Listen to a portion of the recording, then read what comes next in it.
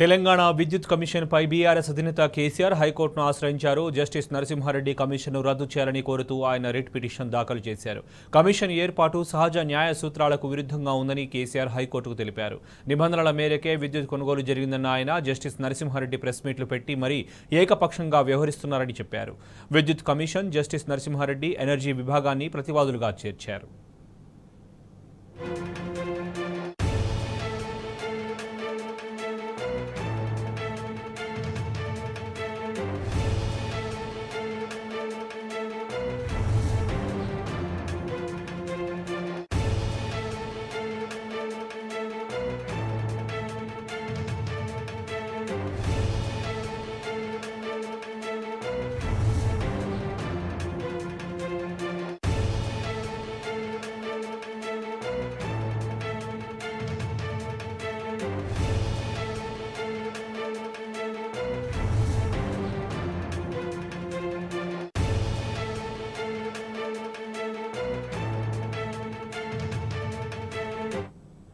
Justice Narasimha Reddy కమిషన్కు ఇప్పటికే BRS అధినేత కేసీఆర్ పన్నెండు పేజీల లేఖ రాశారు. రాష్ట్రం ఏర్పడినప్పుడు తెలంగాణలో విద్యుత్ రంగం ఎంత సంక్లిష్ట పరిస్థితిలో ఉండేదో దాన్ని ఎలా సరిచేశామో ఆ లేఖలో స్పష్టం చేశారు.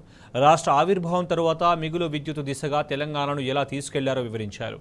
అటు విద్యుత్ కొనుగోళ్ళు కొత్త పవర్ ప్లాంట్ల నిర్మాణం ఇతర రాష్ట్రాలతో ఒప్పందాలు అన్నిటినీ సవివరంగా లేఖలో పొందుపరిచారు.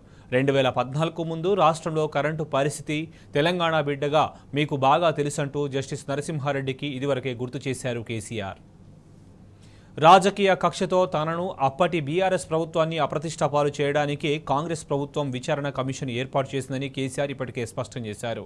కరెంటు కోసం అంగలార్చిన తెలంగాణలో అప్పటి తమ ప్రభుత్వం గణనీయ మార్పు చూపించి అన్ని రంగాలకు ఇరవై నాలుగు గంటల పాటు నాణ్యమైన కరెంటు ఇచ్చిన సంగతిని ఆ లేఖలో గుర్తు చేశారు.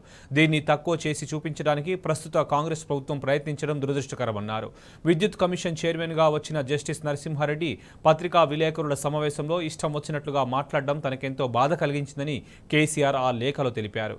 విచారణ కమిషన్ నుంచి తప్పుకోవాలని కూడా జస్టిస్ నరసింహారెడ్డిని కోరారు కేసీఆర్.